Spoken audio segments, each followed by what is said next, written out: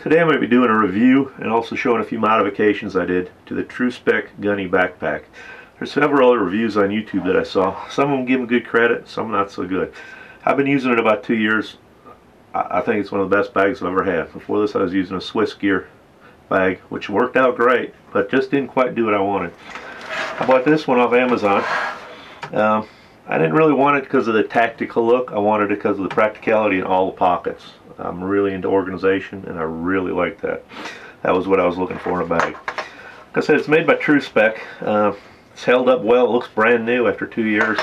It's been to several countries, been on a lot of vacations with me. Uh, plus, every day I just throw it in the back of the truck. Works good. Uh, what I like about it, it's got a real nice grab handle here. It's also got a grab handle on each side. It does fit in an overhead carry-on. Just pops up in there. Works great. Uh, it is large enough. You can carry several days worth of clothes if you're just going for a weekend trip or something. That works good. I take a lot of camera gear with me when I go somewhere, and that's one of the main reasons I got it because of all the room. Start on the back. It's got great straps. They're uh, really nice padded. It's got a nice padded back. It also comes with a belt strap, which I normally take off unless I have it loaded down with a lot of camera gear or something. I'm going to do a lot of walking. Uh, that just velcros right in. Slide it right through here. There's velcro there, velcro there. Holds it in place nice. There's some MOLLEs on the side of this. We're going to put an additional pouch or something, or accessories. And there's two little pockets on here, which are great. They're not big enough for much anything, but you can throw some batteries for a camera in there, stuff like that.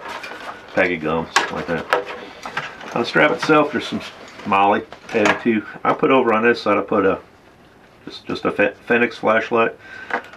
Real nice if you're walking, getting dark. Shines right in front of you, about six, eight foot in front of you. You can also pull it off real quick. Have a little stun snap that if I want to carry it. It's one of the modifications I made. Another modification I made is it came with black poles on all the all the zippers. I changed them over to red. A to give it a little contrast and B just to make it a little easier to find.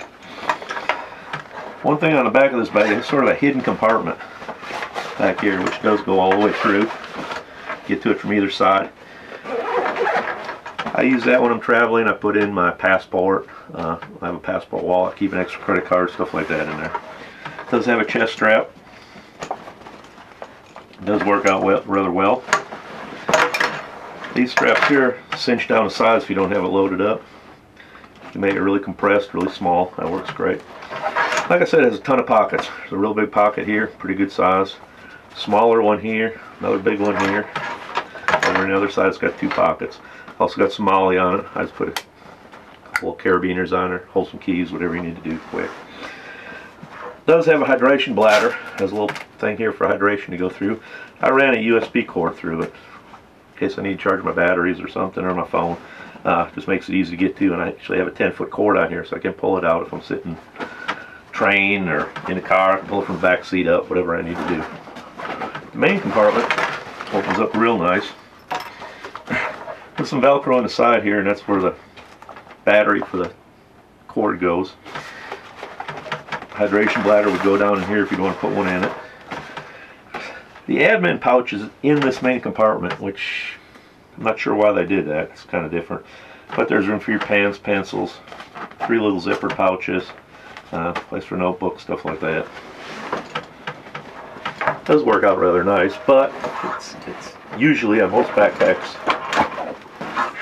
they put it down in one of the front compartments, which is a little easier to get to. I did add this extra pouch on the outside, just uh, when I'm traveling, I throw receipts, stuff like that in there. Just makes it a little easier, a little more convenient. There's another pouch here. There's a key keeper here, business card holder or ID holder, something like that. Fairly decent sized compartment. In the front compartment, Again, has MOLLE on the front. This opens up. There's another zippered pocket. I added another key keeper here. And this here actually holds, it's made for DSLR batteries, but I use it to hold all the little stuff that normally get lost in a bag. Works good. But is a fairly decent sized pocket and it works so good I use it quite a bit. And in between the two, there's another zippering compartment. Zips all the way around. Lay flat if you're going through the airport. I put some Velcro padding up here, just put another little pocket up there, hold some stuff. A little small first aid kit in there. Here's a laptop compartment. It's padded on the back. It's not really padded on the front, but it does have some MOLLE here if you like its organization. You get some MOLLE pouches on here. Also has a nice big zip-up pocket right here. Keep a raincoat, t-shirt, something like that in it. That's about it for the Tru-Spec Gunny backpack. Uh, like I said, I've been using it a couple years now. It's really held up well. Still looks almost brand new. Uh, I really highly recommend it. Thank you. Hope you enjoyed watching. If you like this video, give it a thumbs up on the bottom. That really helps a lot.